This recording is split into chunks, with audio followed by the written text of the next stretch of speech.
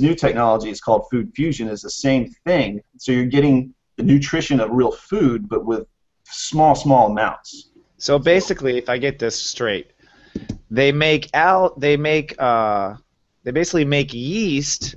They they force multivitamins down yeast's throats.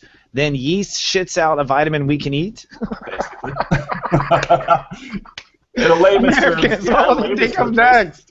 That's cheese. That's what cheese is. That's what alcohol is, folks.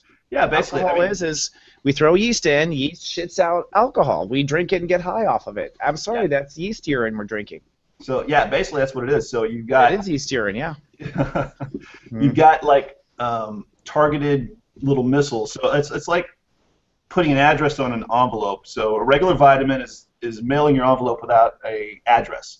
The food fusion is like putting an address on it so the mailman knows where the hell it needs to go. If that makes sense. That's literally what it is. So you get you get the benefit of food, but in a very small pill in very conservative amounts. And the reality of the situation is like an elephant's skeletal structure only requires 50 milligrams of real calcium a day to sustain itself. And the government says you need to be taking thousands of milligrams of calcium carbonate, which is why women have a lot of uh, heart. Osteoporosis and Yeah, I mean, all no, I mean, it's- sorts it's- of weird stuff going on. We'll have Absolutely. So you don't need anywhere near the amounts, these megadoses that they're telling you about, because it's actually harming you.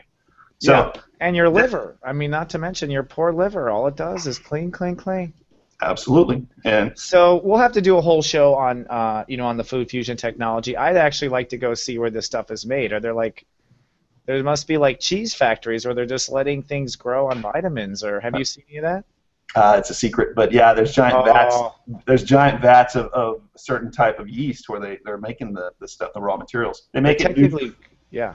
They take they take one nutrient at a time, and so that's I mean they do it one at a time and create a vitamin C or one mineral. They do it for all of them. So Each one is grown separately with yeast. Absolutely. Some of them are in actually some of them are in uh, yogurt cultures and things like that. But they're basically taking a live food living organism and creating A vitamin. that a vitamin that's targeted and your body recognizes it as real food instead of a synthetic. Yeah. So and these are available now. We can you can get them right now inside uh, the Venus, you can get them in the Venus Prime Facebook page. Yeah, go to Venus Prime. Actually, you have information there now. I noticed a little shop thing. So, if you guys want to find out more about some of the um, some of the supplements that he has found and pulled aside, it's at facebook.com forward slash Venus Prime Health. And you can also like that page as well if you want to hear about all of the conspiracies that Damon will continue to research and present to us week after week. Danae will affirm with products out of her own cupboard.